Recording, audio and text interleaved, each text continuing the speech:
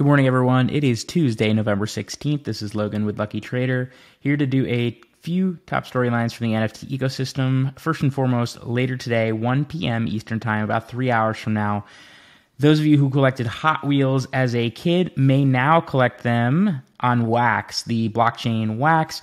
Of course, if you use the link in the schedule page at luckytrader.com, take a look at the Hot Wheels collection. Just about three hours from now, uh, plenty of packs available for purchase. And actually, you can purchase these with US dollars using a credit card.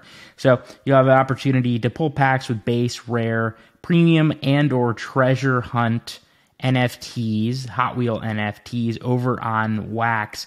Wax, of course, a slightly different blockchain uh, that we have uh, started to support showcasing projects on, uh, despite the bearishness of the NFT market for the last few months, or at least the last month or so until the recent resurgence here, Wax itself as a coin, the underlying coin and currency of the Wax blockchain, has been doing quite well, up 166% over the last 30 days, whether that's uh, as a result of the burgeoning NFT ecosystem or not is something that, of course, we couldn't comment on directly, but something to keep our eye on. You'll notice more and more Wax projects potentially hitting the schedule page at luckytrader.com.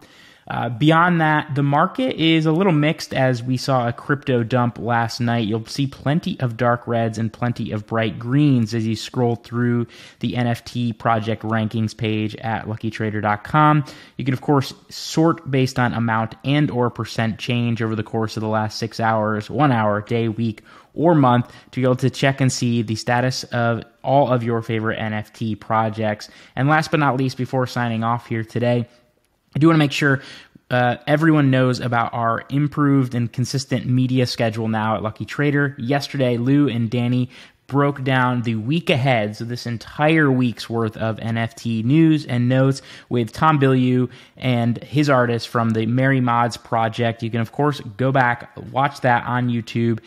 Get it in your podcast streams wherever you subscribe and download to podcasts.